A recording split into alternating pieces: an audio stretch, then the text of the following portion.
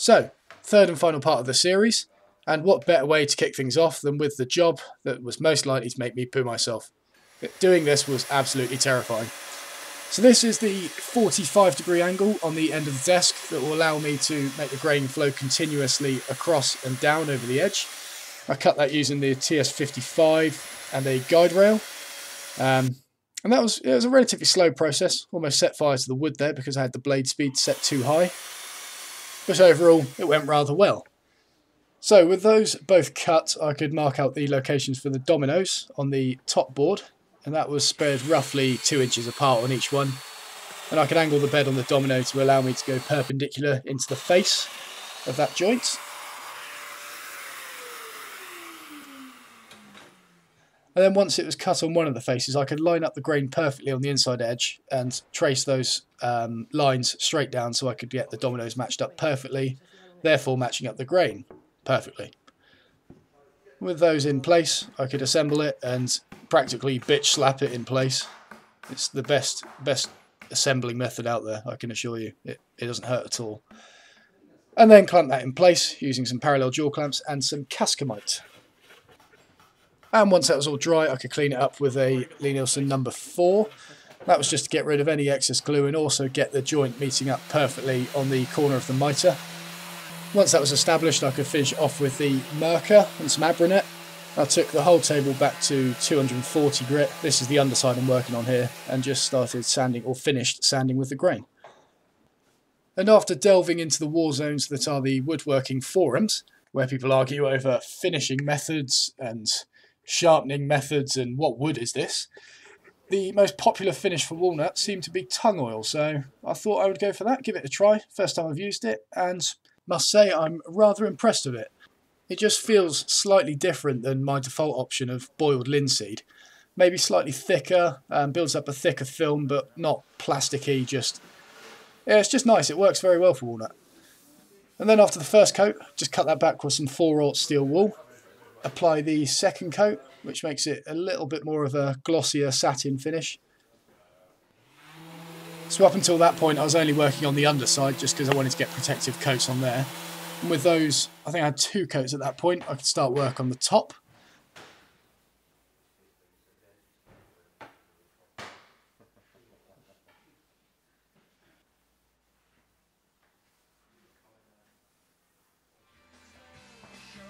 So after three coats of oil were applied, I could head back home, get everything disassembled and get rid of this ghastly excuse for a desk.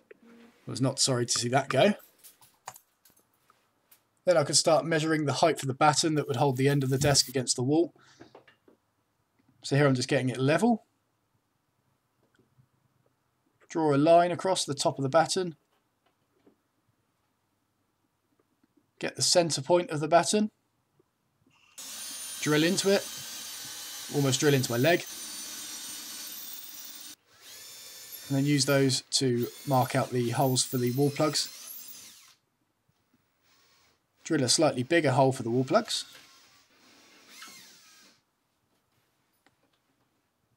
And then what the fixing I'm using here, basically you put them in and then you pull them out with this device here and it basically makes it flare out on the opposite side of the plasterboard. So it gives you much better bearing surface on the opposite side and stops the uh, wall plug from being able to fall out. If it does fall out, it's taking a huge chunk of the wall with it. So it's a somewhat scary um, thought. But I think the fixing should be strong enough. So I can get the desk into place, see how it registers against the wall, the wall that isn't square. Weigh it down with a TS55 and I think that was a bass guitar case. And then I wanted to fix a batten on the back just to make sure that it is properly secure. So here I'm just going to get the middle one fixed for now.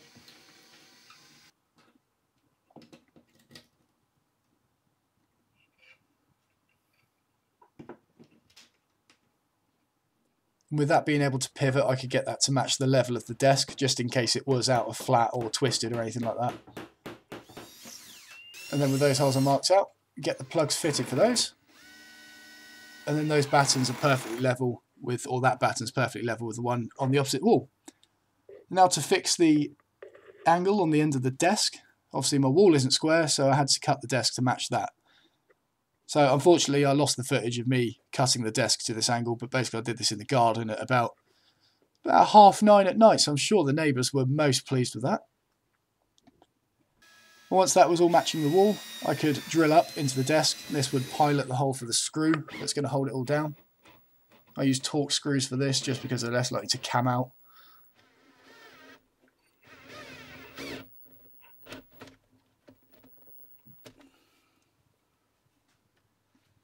And then with that all fixed in place, pretty solid, get it all assembled again and see what it looks like.